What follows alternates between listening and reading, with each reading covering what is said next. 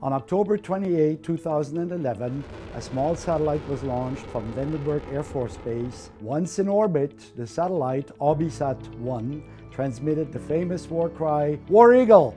Since then, new teams of Auburn students have developed CubeSats, the next generation of small satellites.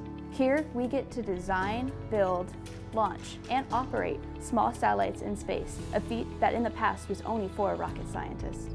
Auburn's satellite program is like a family, bringing together students from across campus with a passion for space. In fact, we've adopted NASA's motto, failure is not an option. The satellites that we're designing today will be used to study and understand gamma ray flashes from high altitude storms. At the same time, we're using this as an opportunity to test new methods to keep our satellites flying information. New as in never done before.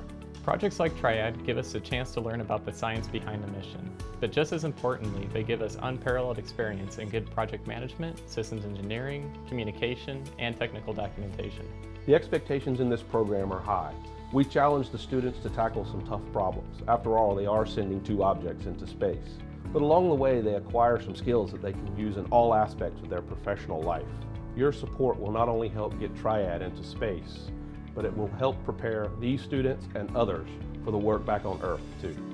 Thank you for watching our video and for spreading word to your family and friends who are interested in helping the Triad mission here at Auburn. And don't forget, failure is not an option.